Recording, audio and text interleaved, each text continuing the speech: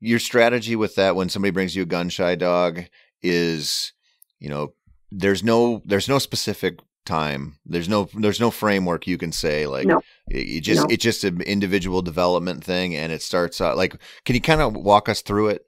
Sure, sure. Um, the first thing I'm going to do is say any training the dog has is out the window. All bets are off. Nothing the dog does is wrong because I'm going to fill my bird bag with pigeons and we're going to go out to the field and I don't care if he jumps on me. I want him excited about birds. If he catches one, I don't care.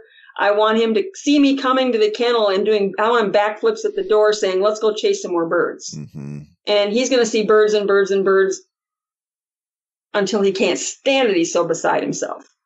And then the gun becomes background noise.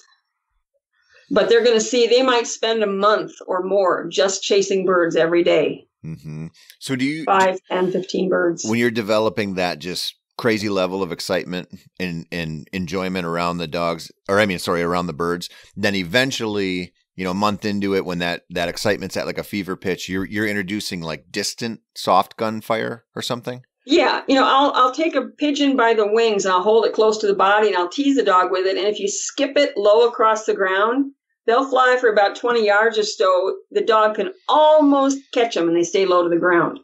And I want that kind of drive. I want the dog to have that much chase. I don't care what the dog does. There's no obedience required, no rules. yep All bets are off. It's party time. but in addition to that eventually you're you're you're introducing some some really low level gunfire in Yes. So- yeah, I'll carry my blank pistol, 209 primer pistol in my pocket. And when the dog is maybe 60 or 70 yards away, hot on that bird's tail, pop behind me real Yep. quietly. I had a guy, I told Ronnie this story years ago. I had a guy um, bring me a gun shy dog, and he kept saying, There's no reason this dog should be gun shy. I've never done anything, etc. You hear that a lot. hmm And so, as I'm kind of debating with him on the phone, trying to get him to confess, uh, I thought, okay, when he brings his dog, I'm going to have to prove a point here. So, as he met me outside the kennel, we're standing there talking. What he didn't know was that in my game pouch, I had my blank pistol. And as we're standing there talking, I reached behind me and popped off two rounds. You should should have seen the guy jump out of his skin. I said, Why did you jump? And he said, Well, that startled me. And I said, Yeah, but you shouldn't be afraid. You know what gunfire is. that's awesome And it kind of busted him. But Mhm. sometimes you have to do that. You know, the people are way harder to deal with than the dogs are. Yeah. Well, yeah, especially when they're coming to you and they don't want to admit what's wrong to give Yeah. you all the tools to fix it. Yeah. So you asked me a minute ago about that, you know, the challenge kind of thing. You can't get this fixed. So this is when I, one of the earlier dogs I trained probably, oh, it's got to be close to 15 years ago now. I got a call, call from a really nice guy, had an English setter. He'd hunted over the dog for a couple of years. And they had, they were from Indiana and he was in the UP of Michigan hunting grouse. hmm and the setter had always done everything well before. He evidently was pointing a woodcock, and woodcock sits so tight, the dog was evidently pointing right over it. And so he called me, he said, I've got a dog that's gun shy and bird shy. I'm thinking, oh boy, this is going to be a fun one. And he said, I really don't think you can fix him. And I said, Well, I'd be happy to try. And he said, Well, I, I was hoping for suggestions. And I said, I don't know what to tell you. I haven't seen the dog. So he brought me the dog. And if you showed that dog a hobbled pigeon, the dog would crawl into the nearest vehicle trying to get away. I mean, there was just, and without bird desire, there's no hope for the gun. What they figured out and pieced together had happened was when they were hunting, this dog pointed a woodcock, and when the woodcock flushed, it went bill first up the dog's nose and punctured his sinus cavity, which is why we have a dog that's now afraid of birds. Uh-huh. So, anyway, I had to take him all the way back to square one. It's I, I love hearing these stories from you because it's so common to hear that gun shyness is is basically not curable.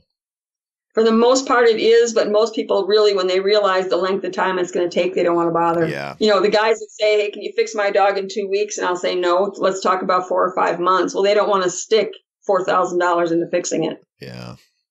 Yeah, that makes sense.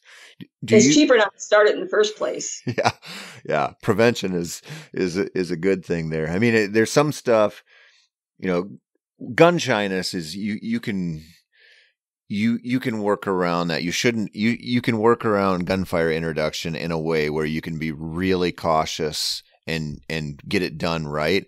You know, an example of like you just told with that woodcock flying up and piercing that dog's nose and becoming bird shy. You know, you, you hear about that once in a while with just random exposure to a goose or something that when a when a puppy isn't ready, like there sure. are times like that where that happens, but it's just such a random thing. But gun shyness is our fault. Like very rarely do you think about a situation where a dog becomes super gun shy and not think, man, that was that one's on me. It always is. You know, I'll hear somebody say, "Well, they were born that way." No, they're never born that way. Mm-mm. Some dogs are more sensitive than others, more prone to it, but they're not born averse to noise. And they also think, "Well, my dog's fixed from gun shy. Why is he afraid of thunderstorms and fireworks?" It's not the same thing. Yeah. Yeah. He's not uh, chasing birds there during the thunderstorm that's going through your house at night. Well, and it's a different noise and a different feeling too. You know, they mm-hmm. differentiate very well. We don't give them enough credit. Yeah, that that's a good point. And it, they're not, you know, just we kind of forget about the situation they're in when these things are happening. You know, like when you're talking about getting a getting a dog, you know, kind of reigniting the the the love of birds and the chase or just being tolerant of the gunfire, you're also structuring an entire training situation around that. It's not something that they're just laying in, you know, on your floor at night and all of a sudden this random storm comes in and there's a whole bunch of thunder and lightning around you that you didn't plan for and didn't didn't anticipate. Sure. Well, and the other thing people do if the dog's even afraid of thunderstorms, let's say, that's a great example.